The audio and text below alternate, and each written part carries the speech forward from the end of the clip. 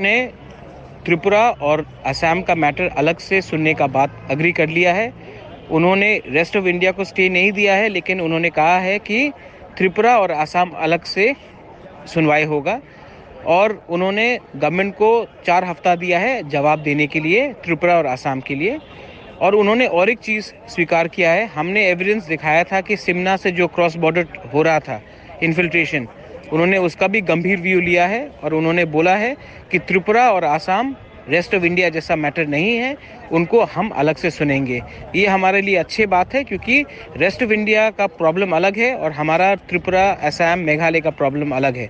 ये अच्छा वर्डिक्ट है क्योंकि हम आज रेस्ट ऑफ़ इंडिया के संग नहीं फंसे हुए हैं। थैंक यू सिमना का जो क्रॉसिंग हुआ था और ख्वाई में जो अरेस्ट हुआ था, उसको आज हमने एविडेंस देकर प्रोड्यूस किया।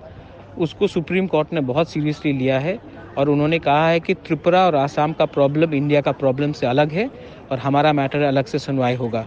ये हमारे लिए बहुत अच्छा है क्योंकि इंडिया का प्रॉब्लम में हम लोग फंस जाते नॉर्थ ईस्ट में। और मैं आशा करता हूँ कि हमारा ये सुप्रीम कोर्ट का केस, इंडिया के सुप्रीम कोर्ट के केस रेस्ट ऑफ़ इंडिया के सुप्रीम कोर्ट केस से अलग जाएगा।